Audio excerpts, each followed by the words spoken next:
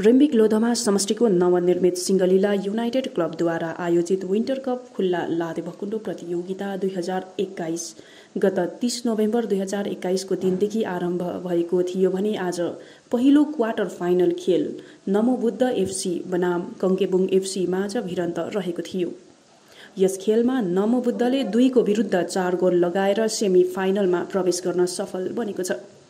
आगामी पन्ध्र दिसम्बर दुई हजार एक्काइसको दिन सन्जु फुटबल एकाडेमी अनि श्रीखोला माझ भिरन्त रहनेछ भने उक्त खेलमा विजयी हुने दल सेमी फाइनलमा नमबुद्ध एफसीसँग रोमाञ्चक भिरन्त हुनेछ। आजको खेलमा अतिथि वर्ग अनि फुटबल प्रेमी दर्शकहरूको बाक्लो उपस्थिति रहेको थियो।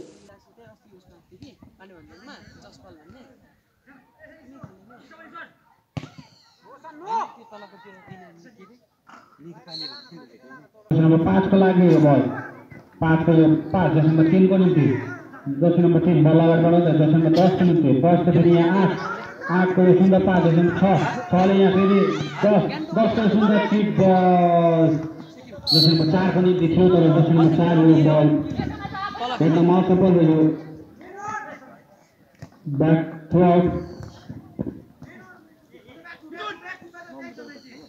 अर्को त्यो साइड प्याकको दामी थियो दासु चाहिँ अस्ति उसमा थियो कि पानी भन्दैमा चस्पल भन्ने त्यो तलको त्यो दिने के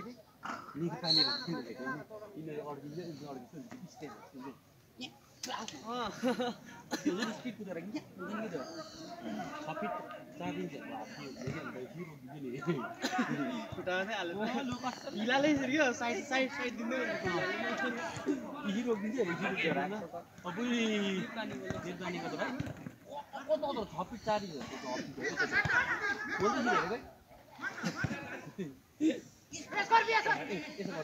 तल टक्कै हिँडिदिने कि कर्नर हिँडिदिने कि कर्नर टक्कै हिँडिदिने कि तिनीहरू हेर हेर मात्रै